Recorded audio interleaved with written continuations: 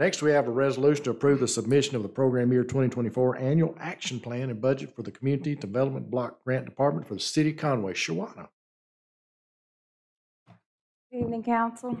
Good evening. Um, You have before you our presentation to um, submit our annual action plan for program year 2024, as well as the budget.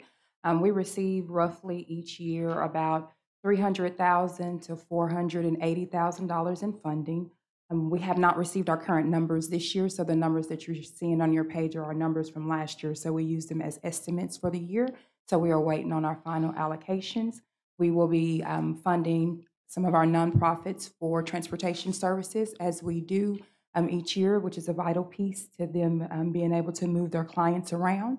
We are also excited about the projects that we have coming forward for the year for 2024 and some the years to follow. We have completed the emergency shelter, and now we are looking at our Conway Central Conway revitalization and um, housing rehabilitation. So those are the two things that we're looking for with the Conway, the Central Conway revitalization. We are looking to look in our low to moderate income areas as well as our opportunity zones to see where we can add to our housing stock, preserve our housing stock, um, to also look at drainage and infrastructure.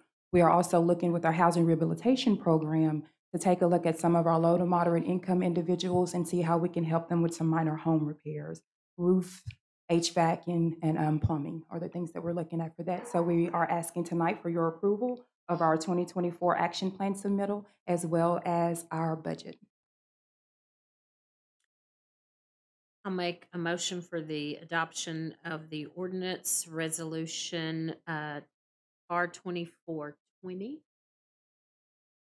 And thank you and whoever works with you. I'm really excited about the housing rehabilitation program Mhm. as well. I think that's going to be great.